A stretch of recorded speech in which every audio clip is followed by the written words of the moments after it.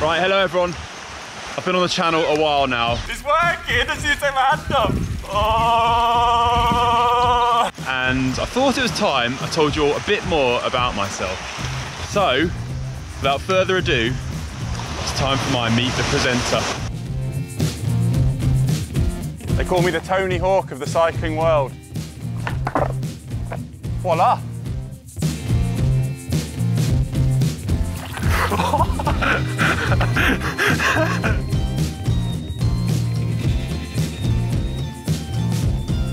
can actually fit in this.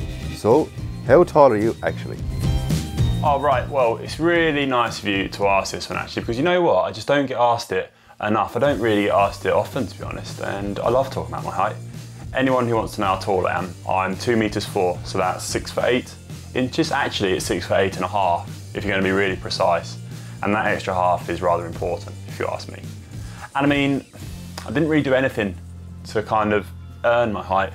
I feel like I didn't do any work for it, it just kind of happened.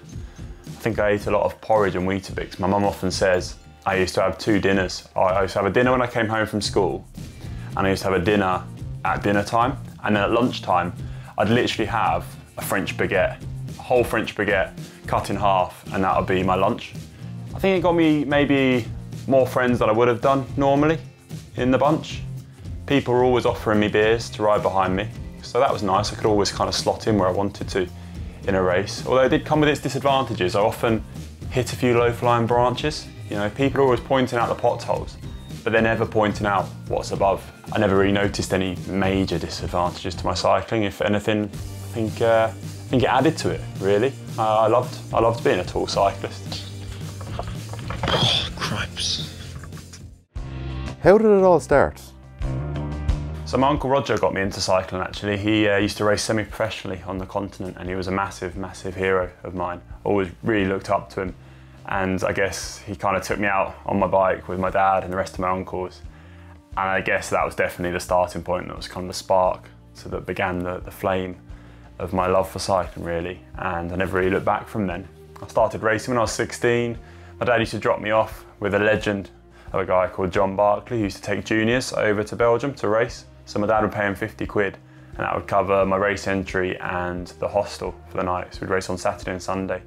And you just kind of, off you went, you know, give it your best and see what happens. There was no sort of uh, real uh, tactics or anything like that. It was just racing for the, for the heck of it, uh, eating frits and ice cream afterwards. And then after I finished school, I moved to Belgium, lived in Belgium for five years, uh, raced for teams there, um, and yeah, it was the same thing really. It's just the sense of adventure, I think, was the main thing for me. Cycling was just this kind of vehicle which allowed you to do so many things and go to different places, meet so many new people. And I think that was one of the reasons I fell in love with it so much as well. So yeah, Belgium definitely featured heavily though. Any interesting old bikes in the garage? Yeah, so I am lucky enough to have a couple of my own personal bikes which I kept from my career um, mainly from my national championship win.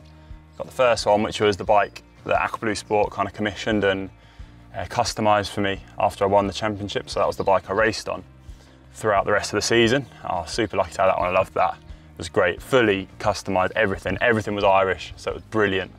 Um, just I wanted to get the Irish flag on as much of my kit as possible. So yeah, you had to get the bike. Had to get the bike fully Irish as well.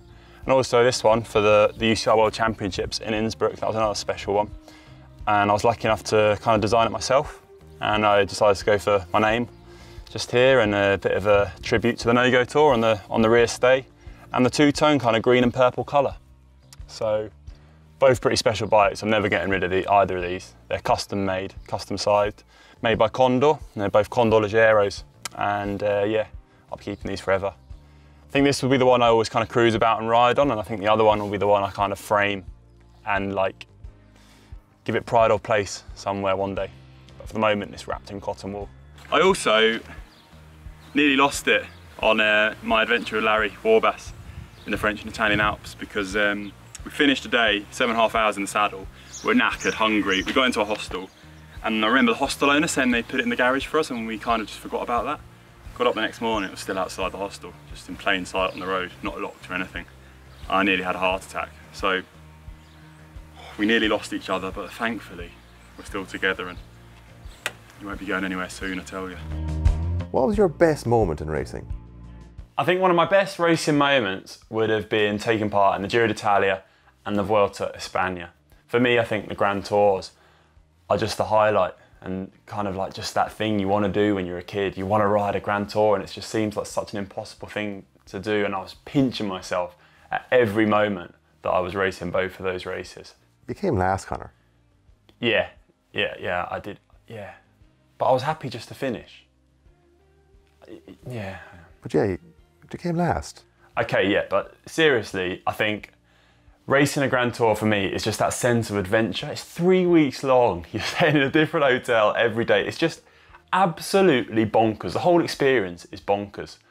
And unless you're sort of the guy that wins it, I think for everyone else, the experience of it is more of an adventure than a real like high performance race. That's what it felt like to me anyway.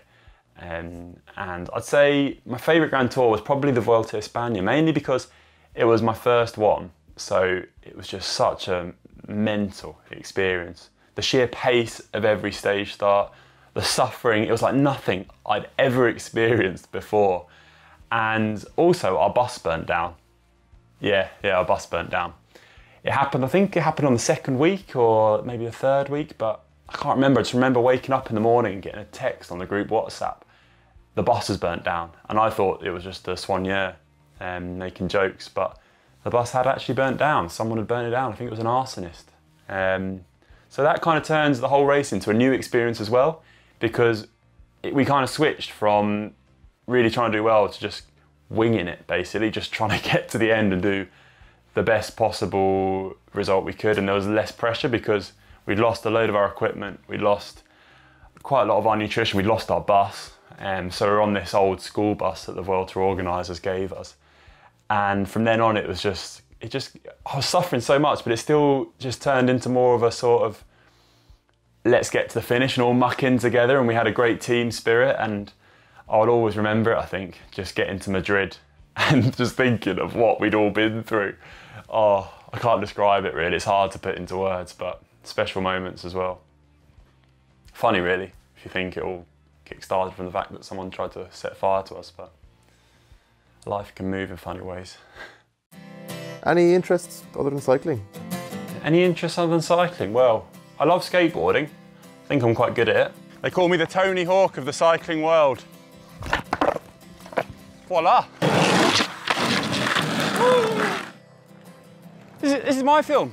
Yeah. Brother-in-law, Nigel. I can play the ukulele.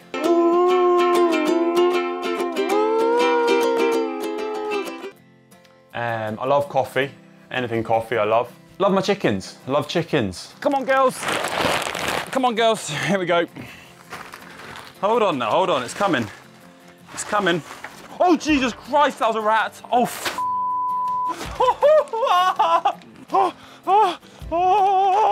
like growing, like growing basil, and I love uh, being kind of green fingered. Three basil plants growing very well, and I've also got some tomatoes growing here.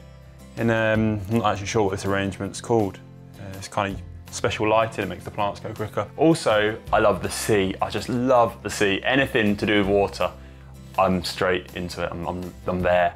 Right, you're probably all wondering why I was wearing a wetsuit at the start of this video. Well, the reason is because I'm an avid swimmer. I love wild swimming and any opportunity I get to get in the water, I take it. So, as you can see, GTN have sent me a wetsuit. So I'm hoping that's a sign of things to come. Might be a, a duel between GTN, we'll see.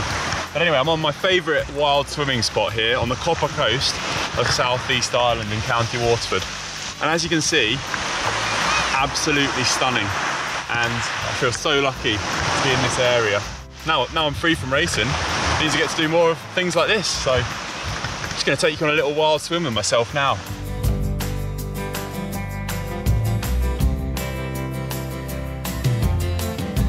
What else is there? Yeah, I think one of the reasons I stopped racing was just for a bit more balance and a happy, quiet home life.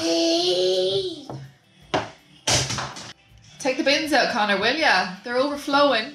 Take the bins out, Conor.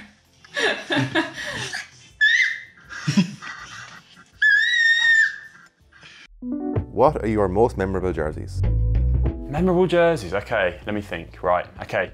Top of the list, without a doubt, has got to be the jersey you win when you win a national championships. So this was my Irish road race national championship jersey, which you get awarded upon, upon winning the race. And this was a huge, huge honour for me.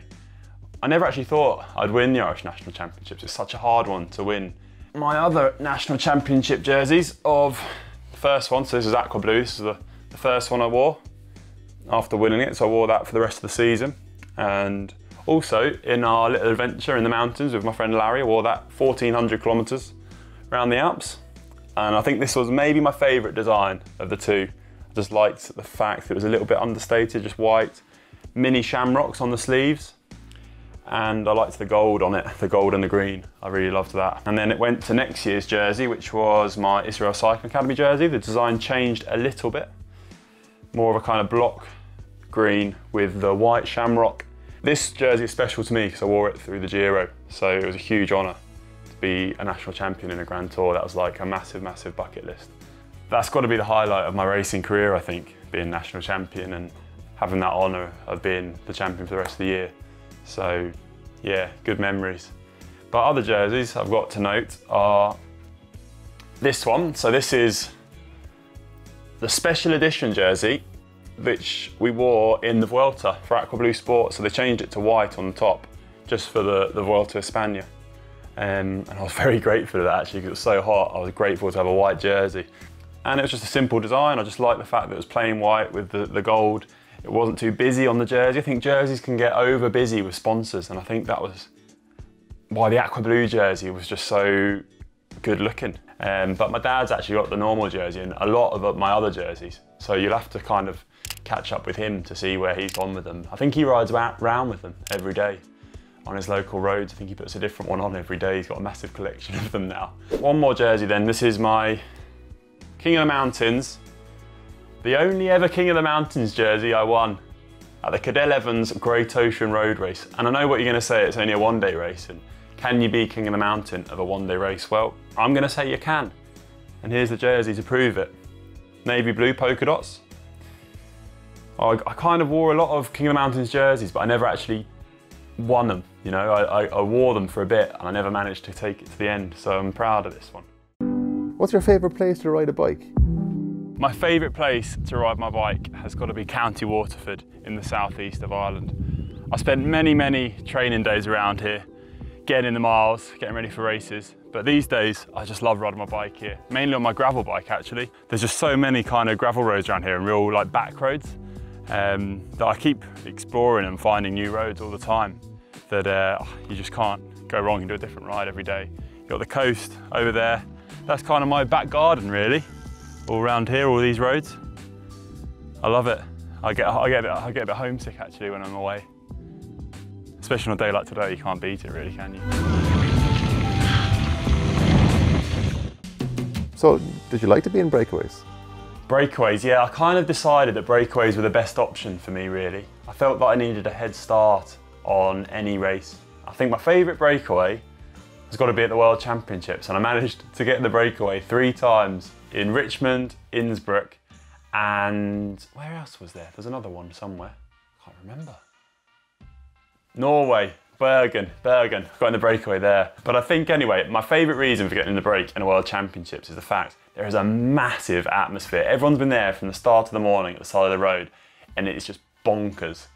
I remember it vividly in Richmond because it was a small fight to get in the break, but it kind of went pretty easy there, if I'm honest it was kind of like uh, the bigger nations holding back and they let kind of us lesser mortals up the road to have a bit of fun. But um, we got in the break and we had a bit of a time to ride the circuit and then we hit the circuit.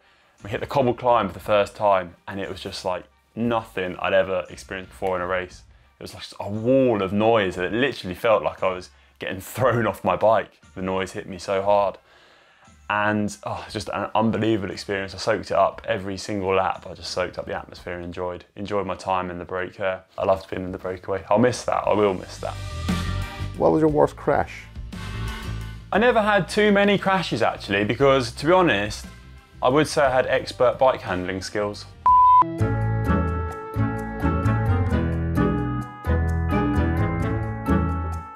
But if I was to mention one crash in particular, it's got to be, I think it was stage six or seven of Tour of South Korea. And it was a bit of a bonkers race in itself, but this one stage in particular, there was a pipe on the road where they'd sort of relayed this pipe, but it hadn't filled in the trench. So it was basically a massive trench on the, the midpoint of the hairpin. And someone hit it, crashed, someone else hit it, crashed, and before you knew it, it was, the whole group was crashing basically. So I came around this hairpin at full pelt, avoiding people on the floor, avoiding people, avoiding people, and then I saw this barrier coming at me, and I was like, oh no, this is gonna, this is gonna be a bad one. I had no time to stop. I saw the barrier coming really fast at me, and then I just made a split decision. I remember vividly in my head making this decision to just abandon my bike and just dive. So I just dived off my bike. I cleared the barrier, so I didn't hit that, so no pain. And then I just put my hands on my head, and I just remember feeling all the branches of the trees just going. And I was like I was in a washing machine going like this. I was like, oh no, this is going to be bad. I'm going to really hurt myself. And then, then the, the, the spinning all stopped. I came round on the floor and I checked myself. I was like, I'm fine. I'm a few scratches, but I'm okay. Nothing's broken. I got up um, and uh, I couldn't find my bike. So I abandoned the bike, went, climbed back up, got my spare bike, carried on, and the mechanic had to go down and find the bike for me. Apparently it was like 50 metres further down. So it's funny to laugh at it, but I was very, very lucky. And I think it showed me how dangerous racing can actually be. What was your toughest moment in cycling? To pick one particularly grim moment, it was at the 2017 Vuelta and stage 11. I remember feeling so tired and grumpy in the morning. It was pissing down with rain, like abysmal rain. There was trenches of water just flowing down the road. And I remember really finding it hard to motivate myself. I was at the back of the bunch in the neutral zone, the back of the bunch when the race started, and I was getting drops. There was groups splitting all the time. The wind was so strong. There was like groups splitting coming back, and I was just suffering. But I was so grumpy. And then I remember thinking, no, like, come on, Conor. There's that voice in your head. It was like, come on, Conor, motivate yourself here. Take your rain jacket off because for one, it's flapping in the wind and just slowing you down. It's like a bin bag around you. So I took that off, put it in my pocket, I bucked my ideas up, and I did one attack. in my kind of grumpy state and made the breakaway. And that was it. I went from being super grumpy to really happy that I'd made it into the breakaway for the first ever time in a Grand Tour. It was like I was on high on life and I completely forgot to eat, completely forgot to drink. I was just in the break. I was kind of on top of the world. Nothing mattered anymore. And I also completely forgot that the stage finished up two hors category climbs. So pretty much the worst climbs of the race, actually. So my DS quickly reminded me of this and told me to ease up, but uh, I had no choice really. I had to go as hard as I could. I was, I was, in, I was in it for the ride. Um, so I got dropped on the first climb and I could see the bunch all behind me with all like, you know, the big GC riders riding. And I got caught by them pretty quick. I just watched them pass me and then, uh, you know, everyone else started passing me. And then I realised we still had like 70 or 80k to go with these massive climbs and it was still raining. And I realised like half the day was done. I had half, if not more, of the day to go. So I kind of knuckled down, realised I was very hungry as well. I got caught by the gruppetto and nearly dropped by the gruppetto. And I just spent the rest of the day suffering, trying to not to get dropped by the gruppetto, just yo-yoing out the back, in and out, in and out. Oh, it was absolute torture. I think a can of Coke saved me, just drinking cans of Coke. Um, and I, I, don't know how I got through it. I think your teammates trying to rally around you and pull you through. But yeah. snakes? There's no snakes, no.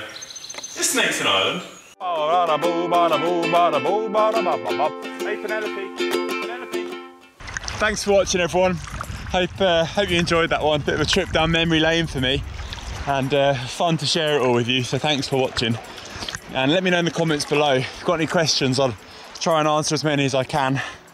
And I guess I'd just like to say a thank you as well to everyone who supported me in my career because I'd never have, I'd never have done it without you. So yeah, hopefully share a few more adventures on GCN with you all too. So thanks everyone. I'll try not to uh, swallow too much seawater here. See ya. Bye bye.